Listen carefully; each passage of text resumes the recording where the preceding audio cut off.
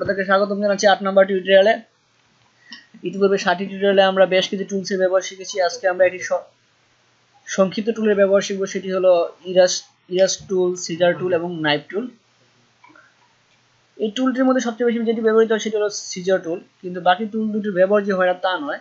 কিন্তু আমরা তিনোটা টুলের ব্যবহারই আপনাদেরকে দেখাবো। চলুন শুরু করা যাক।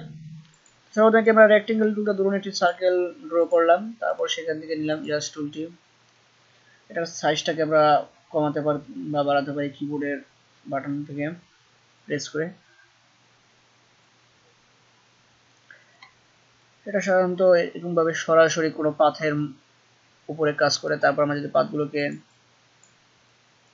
দেখুন যে আমাদের পাতগুলো কতটি অংশে বিভক্ত হয়েছে। আরও একবার দেখুন।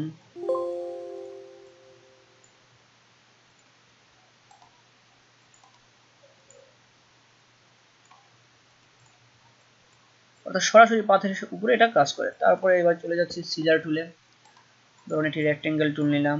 এটাকে স্টকে কনভার্ট করলাম।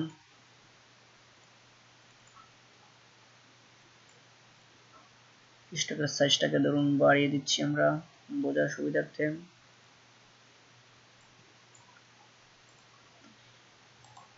সিজার টুলটি নিন এবং বিভিন্ন অংশে জাস্ট আপনার প্রয়োজন অনুযায়ী আপনি ক্লিক করুন।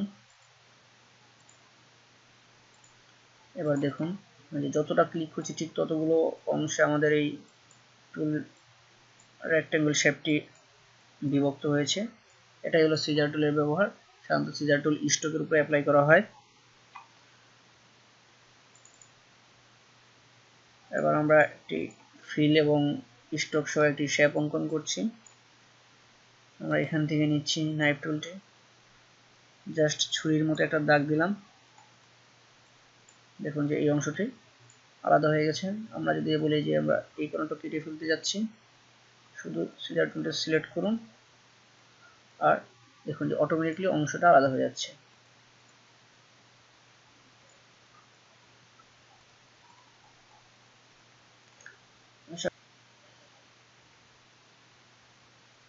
এটা খুবই সংক্ষিপ্ত এটা টিউটোরিয়াল ছিল।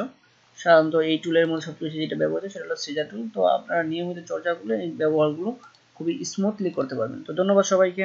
পরবর্তী ভিডিওটি দেখার জন্য আমন্ত্রণ রইল।